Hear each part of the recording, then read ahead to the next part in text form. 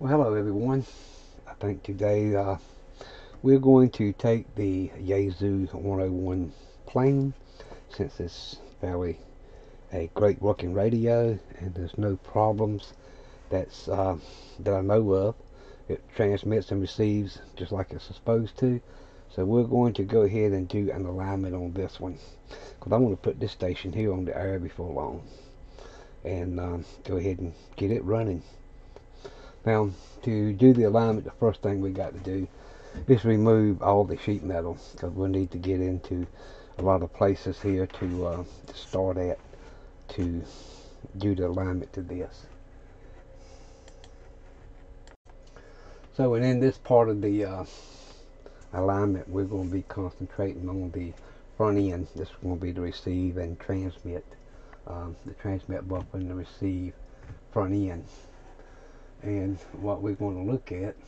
So the part that we're going to look at is right here. And you can see there's down on the uh, bottom right hand corner we're going to see T102 T103 and T104 so basically this is the section that we're going to uh, be adjusting. This is T103 T102 and T104. This is the uh, transmit buffer, the beginning of it, and the receive front end. But the first thing we got to do is get in here and do away with this glue that's on these little spring shafts. See, as this turns, you can see those coils go up and down but what we're going to have to do is better break this glue loose and then tune each one up and down until we get everything set exactly correct. So what I use to uh, soften up the glue on these is acetone. And it's best to lay the radio over on its side once you get the sheet metal off so that this is sitting this way and apply acetone like this because this sits this way in the radio. But the sheet metal off you can set it up on this end and that way the acetone will just drip right down. You can put some uh, paper towel or something on your bench to keep that acetone from falling the other way in the radio and getting on something that we don't want to get it on. So just demonstrating here Make sure you use this in a well ventilated area. We'll come here and we'll soak this glue with this acetone. Just keep it good and wet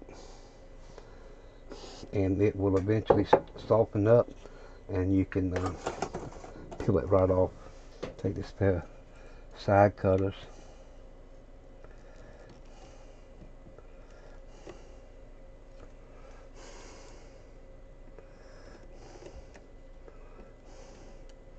see it's already soft enough now that it's fairly easy to get off. And it did not take a whole lot of uh, work. You might have to uh, apply some more acetone as you get down in there. So you can soften it up right there at the uh, the spring and all it's got is a piece of steel wire running across it that that spring is up against. Okay I got all the uh, glue off this first one.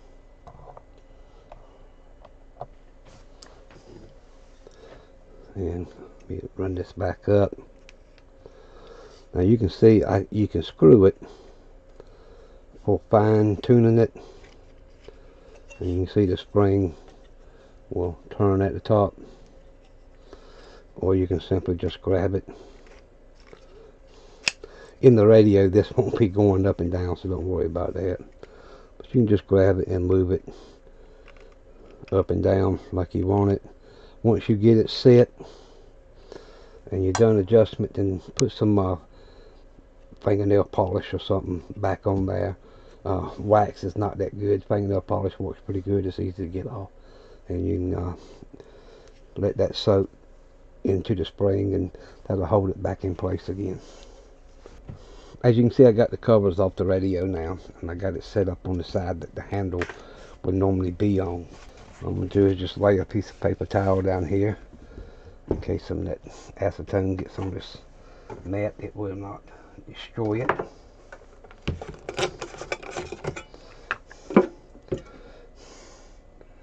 And I'll just start soaking that glue down. And see this way the acetone do not go down into the uh, the coils and loosen up the spring from that iron core.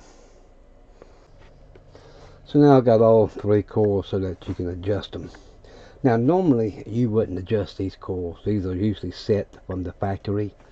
And um, when it came from the factory they probably set the best that they could be set. But now you have to remember if you go on you change a lot of components uh, and plus other components you know vary over time especially as old as this radio is. You would need to adjust these. Okay guys from the uh, last clip it's been a week. Uh, I had some technical difficulties here with this radio now you remember in the YouTube video this radio was receiving and transmitting. Well, I came in here to start the alignment process. Uh, y'all already seen where we went ahead and removed all the glue off the coils and then uh, the next day I come in here and I was going to start doing the alignment. Well, the first thing you got to do is tuned up on the high band of 10 meters. I noticed there was no output I said, okay. So uh, started looking. And I said, well, maybe one of the tubes has failed. So I went ahead and just replaced all the tubes just to see. Still nothing. Uh, no output. Looking at it on spectrum analyzer, I can see a signal, but there's nothing coming out the antenna jack. So I went in here and I replaced the bias resistor and L4 was a little bit burnt. So I went ahead and made up a new one. It's a 55 ohm resistor with uh, two turns of wire around the uh, resistor. And I installed that. Okay, so uh, right here you can see L4 and L4 is just uh, two wraps wire around a um, 55, 56 ohm resistor, whatever. The uh, schematic says 56, but they're actually 55 ohm resistors. So I went ahead and replaced that because, you know, it looked burnt. And uh, the bias resistor did not look too good. It was right here, or 1400 ohm. So we went ahead and replaced that. Made no difference. And that's when I noticed that the tube was turning cherry red.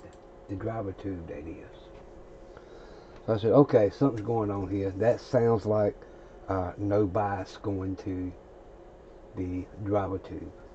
And it should be about minus 20 volts. Now, in the schematic, it tells you nothing. It tells you about setting the bias on the driver, I mean, on the final tubes. But there's not much in the um, manual about bias on the uh, driver tube. Well, it does have a bias of minus 20 volts, and you should check that from time to time. So as you can see, I raised the uh, two boards up here so I could get down at the bottom of the tube so I can have a better look at it. Okay, so you can see the bottom of the tube right here and right down the other side. And pin 2 is the bias pin and when I got in here and started looking there's a coil here. Another inductor. You can see it moving around there well that coil happens to be L1 right here. And you can see it snakes down here to pin 2 of the driver tube. And that's where we get our minus 20 volts for our bias on the driver tube. Everything looks good when you leave pin 2 and you go up and you go to the first part of L1 it's the second part of L1 where it's connected to that has the problem. So like I showed L1 see it's wiggling around. That is completely loose. And the top wire where it goes down it's broken from its connection point. And that's lost the bias on the tube so now I'm hoping I can fix that put this back together I'm gonna have to check that 12BY7 make sure it didn't burn it up and uh, see if I can get this thing back tuned up okay guys so uh, here's the coil I'm using the little Dino-Lite, Dino light, excuse me, to uh, focus in on this if I can move it around. So you can see L1 there, and you can see this top lead. And you see it right there hanging in space. Just flapping around in the breeze, not connected to anything. And it connects right there where you see that blob of solder right next to that other round body component I think is a resistor but that's where that flying lead right down the left hand side is supposed to connect to so that broke off somewhere doing moving the radio after I took it off the bench from getting it working okay guys that's a tight little hole to get down into but uh, I think I got it soldered in so it won't come back loose at least we hope it is. So now what I'm going to do, I'm going to go ahead and put all this back together and see if uh, how bad I've damaged the tubes. Hopefully uh, not too bad because I'm running short on uh, 12 BY7s. I don't even think I have. I think I got one spare. I believe. Uh, I may be wrong, but I don't have a whole lot of them, and you know, 6Js S6s are getting slow. And I need to look because I think I got some 6 KD6s in the shop somewhere. Hasn't been used or looked at in a long time. So I need to search around see if I still got some of those. Because the 6 KD6 will work in the FT101. Okay guys, all this back together. Um, the radio's not tuned up so I'm gonna just hit the uh, mark switch I got it on tune to see if there's anything coming up here let me to the carrier down about halfway oh yes that is now working so can go ahead and get this radio tuned up I need to put the shields back on you know the uh, tube shield and the shield on the bottom and trying to, you know, case in as much of that as you can because when I start going full power into dummy load, with the computer so close, it knocks the USB ports out. And the mouse and keyboard doesn't work and you have to shut the computer down, turn it back on. But, you know, that's because this RF is so close to the computer. I need to uh, do something about that. I don't know what yet, but uh, I need to get the computer a little bit away from to test it or either try to put some grounding and ferrite beads something on it because uh, you know it's sitting just right there. And uh, you know here we are right here. So yeah uh, RF will affect computers okay guys so here's the procedure of uh, aligning the uh, front end section of the radio, which is going to consist of the uh, transmitter and receiver. You're looking at this item here. This is how it sets in the radio, just like it is here. This is T1, 2, and 3. And we're going to adjust those for maximum on transmit and receive. But first, what you do, you put this on 10D, tune the radio up on transmit Then, once you get it all tuned up, and when you uh, key the radio and IC, you do not want to draw no more than 100 milliamps. Uh, if you see that you're drawing more than 100 milliamps, turn your carrier down. Keep it 100 milliamps, 100 milliamps maximum. Do not let it go over, or you start compromising the tubes. So when you get everything set, you'll note the positions of the uh, controls here. Your uh, plate, load, and your pre-select. And you can see the pre-select here is just below the uh, 10. So our pre-select knob is right here pointing just below the 10. Now what they want you to do is turn this up to it's on the high end of 10 and 11.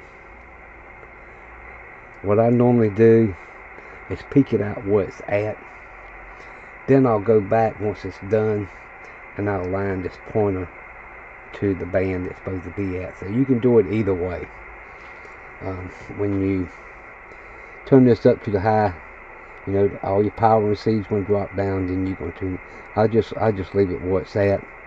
I'll go back, loosen the coupling underneath, put the knob where I wanted that, where it's pointing on the uh, band that it should be tuned up on, and then I tighten it back down. But like I say, you can do that either way you want. The next thing you're supposed to do is take TC5 and put it at half capacitance.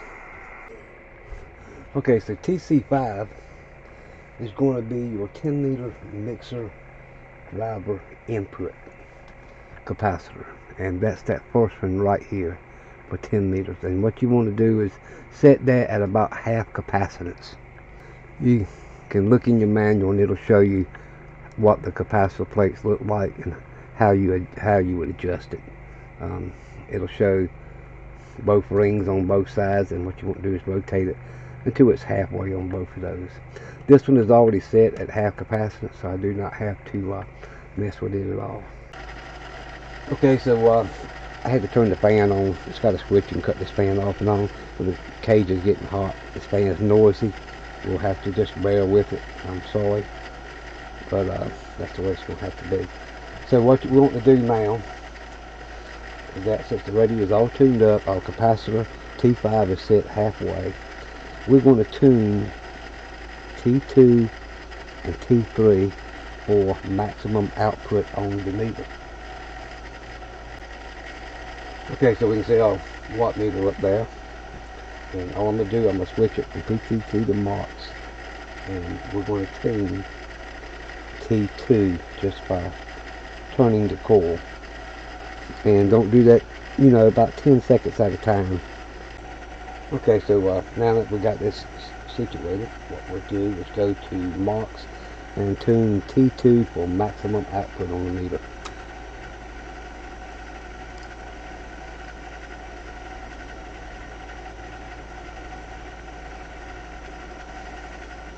and that's about max right there on that one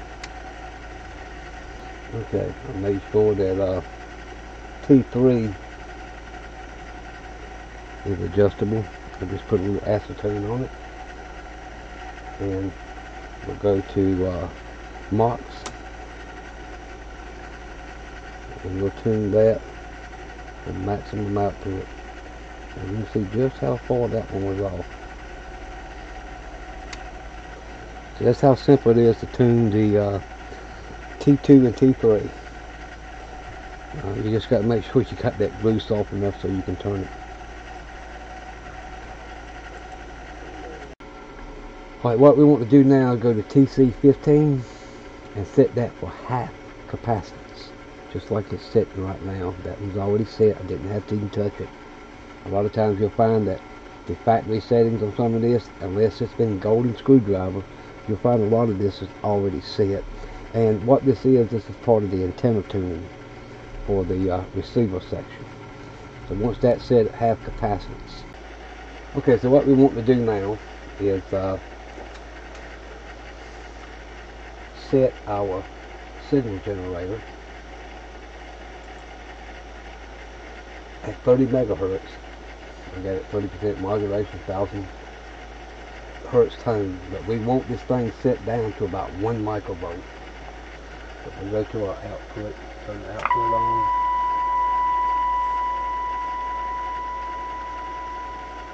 And the reason why we want it at one microvolt is so that we don't turn the AGC on. We want just a minimum signal so we can hear it. Then when we go to uh, tune it, rotate the uh, VFO for maximum signal strength on the meter, or you can tune it to sideband and zero beat it. Okay, so what we want to do now is uh, set our signal generator at 30 megahertz. I got it 30% modulation, 1000 hertz tone, but we want this thing set down to about one microvolt. So we go to our output, turn the output on.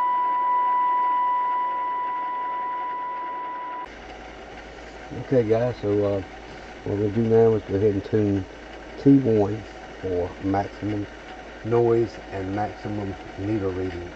You can see the uh, meter here, set the way down here, we're about an S3. I'll turn the volume up.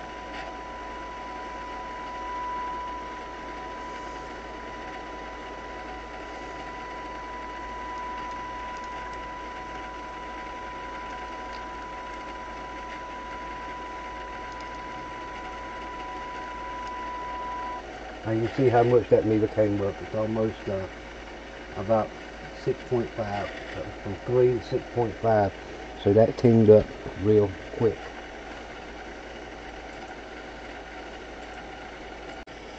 Okay guys, so your next step is you go right back to uh, the transmit mode and you adjust T1 and T2 again for maximum transmit. Go back to receive mode Put in just enough signal to uh, hear it and see a deflection on the meter. And turn T1 again and tune it. And you might want to do that two, three, four times until you see where everything is maxed out. Alright guys, uh, what we're going to do now, I've gone to the uh, 10A band and I've got the VFO set for 28 megahertz and what we're going to do now is go back into transmit and set the pre-selector down to the lower end of the 10 11 meter band. And we're going to adjust TC5 again for maximum output on the 10 meter 28 megahertz band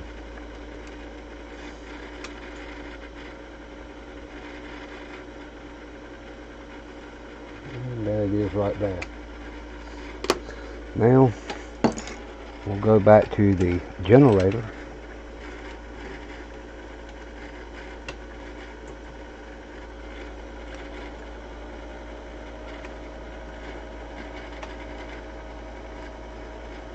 And we'll put in frequency of 28.0 megahertz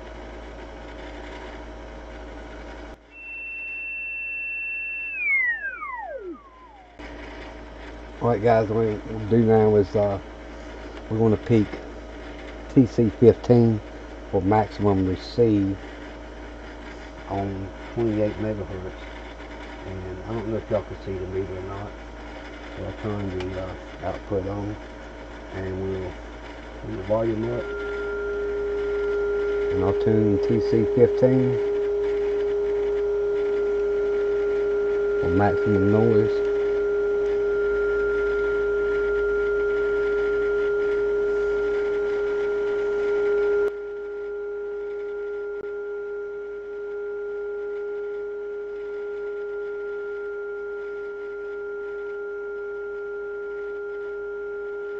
that's about right there. So uh, now that you got that done, go back to transmit, do TC5 again, go back to receive, do TC15. Do that a couple times until they both peaked out.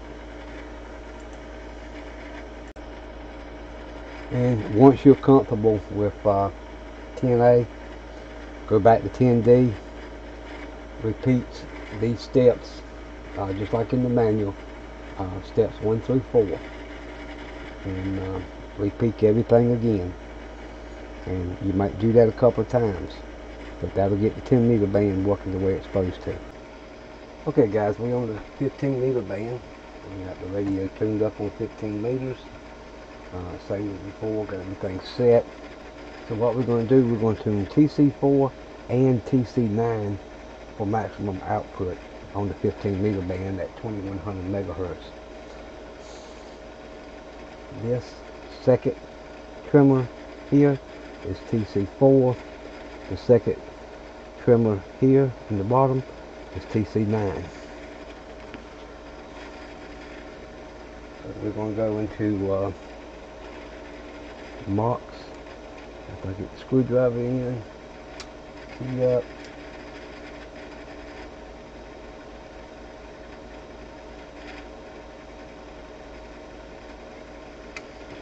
Unkey. Play the TC9. Key it up.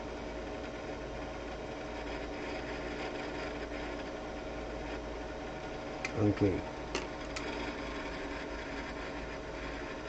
We're trying to carry it way down now because we went up above 100 milliamps. But we've done it very quickly.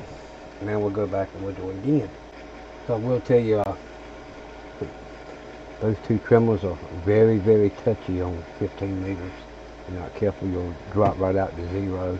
And you have to sit here and turn your carrier back up until you find it, and drop your carrier back down after peaking them out. So yeah, it's a little tough to find. Okay, so what we're going to do now is we're going to go back to the generator. And we're going to set the generator for 21.0 megahertz. Okay, so what we want to do now, I've got a signal going into it. We're going to adjust TC14 for maximum audio. And TC14 on the paper is that second trimmer and that's going to be in our antenna selection. That's going to be this trimmer right here.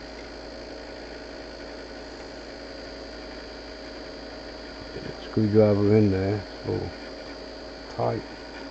Turn the volume up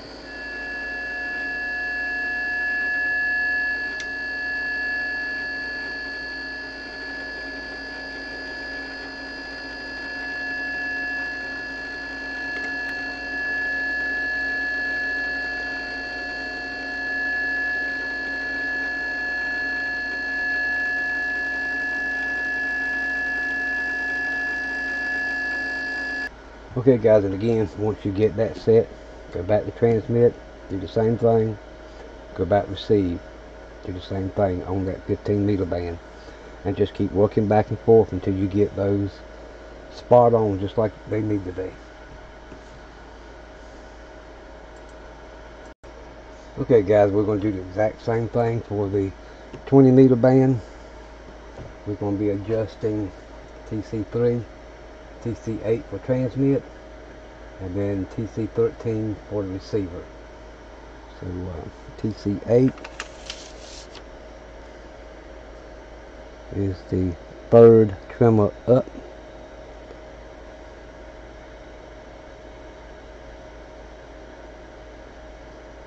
TC3 is this third trimmer up. So third one here and the third one here will be setting the uh, 20 meter output. Okay, so we'll go to transmit. Make sure we're below 100 milliamps. We'll go to TC3.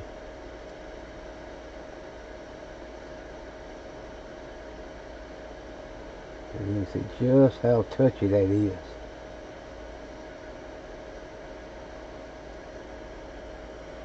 We're going to go to TC8 and it says the third one up.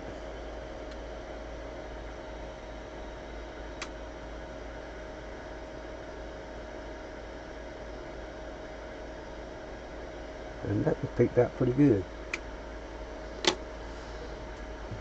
Now when you get that done go back and uh, do it again just like in the other steps. Now I will tell you TC3 is acting a little funny. I don't know if I can spray it and make it work better but when you see one that's doing that most of the time that trimmer needs replacing. And we might have to go back and do that. We'll go back to transmit.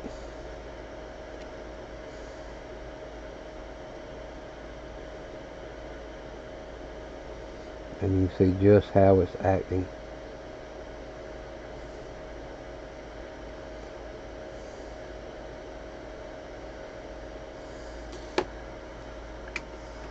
In fact, I'm going to try a ceramic trimmer on it just to see if I uh, make sure that that screwdriver wasn't affecting it. It shouldn't.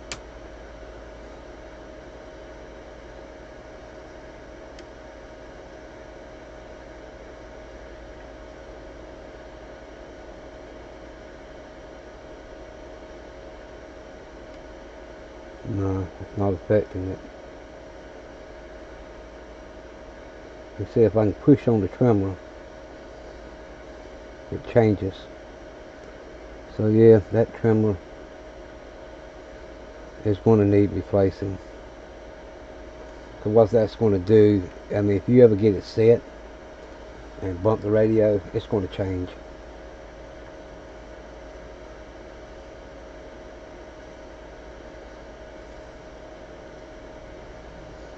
And I can't find no happy medium to get it right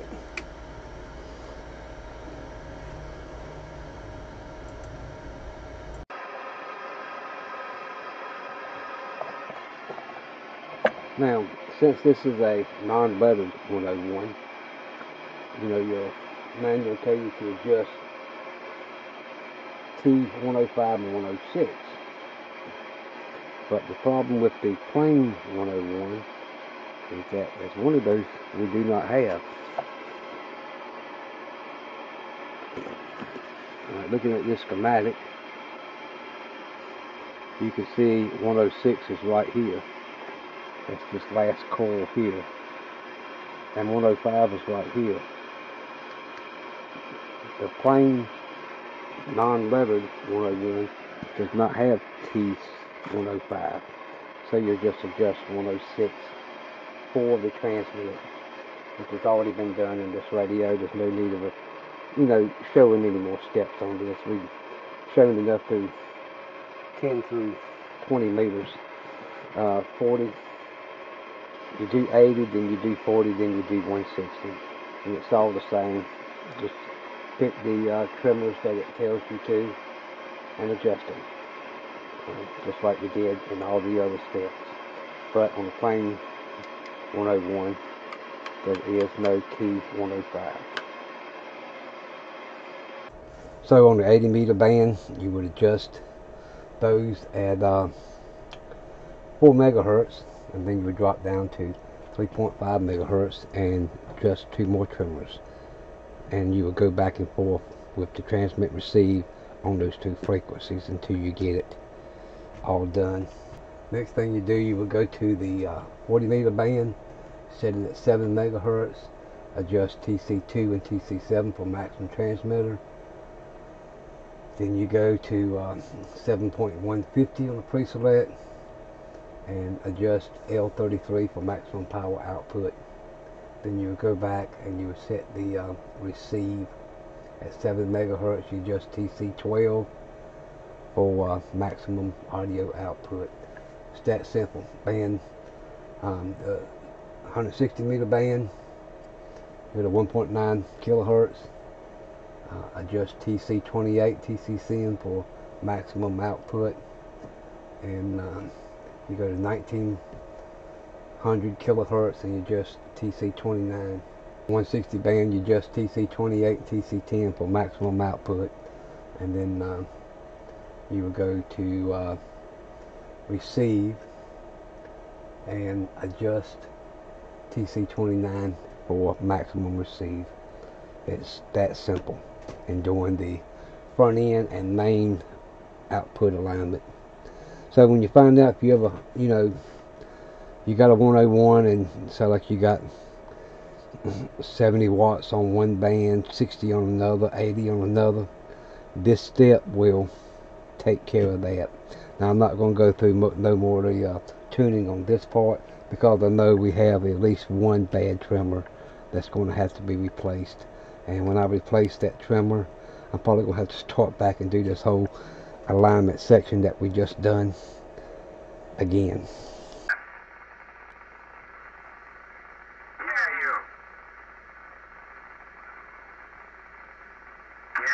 you probably, you probably already worked on lunch, huh? What's going on in Ohio?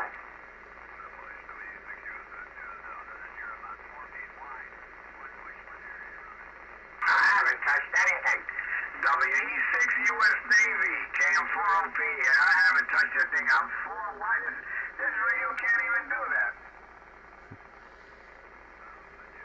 Okay guys, that's going to conclude this segment of the uh, alignment of the uh, front end circuits for transmit and receive. Now, once you get all that done, don't forget to go back and put something on these uh, spring coils to keep them in place. You can use a fingernail polish. Um, I say I've seen people use wax. Uh, wax gets hot and does not hold that good. Fingernail polish works good and can be, you know, removed with uh, acetone. Just make sure you got the radio sitting on the side when you put something in there so nothing runs down into the coil and lock it in place. So guys, I hope you uh, learned something on this. Uh, it's a learning experience every time you do one of these. I mean, at least for myself it is. Because you find out different problems. You know, the main key is when you aligning something for everything to be perfect. But as you see we found some bad trimmers in this one so we know we're going to have to uh, replace some of them. Then I'm to have to do the alignment again. Anyway guys I hope uh, hope this helps and we'll catch you in the next video. Bye now